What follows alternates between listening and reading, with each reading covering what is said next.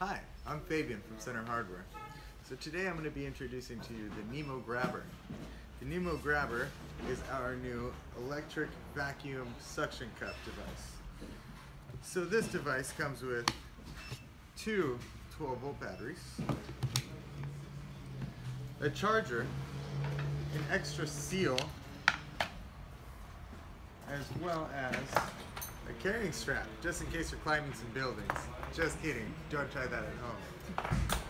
So, as you notice here, the power on, switch it over to on, and here you'll see a, a LED for your power indicator, how much power is in the battery.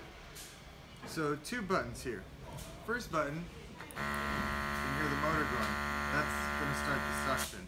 Second button up here is the release. We press it and it will release. So here we go. Place it down. Start the motor.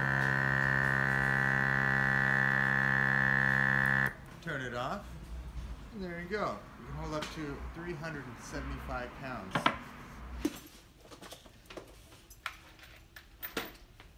Oh, hi! Check this out.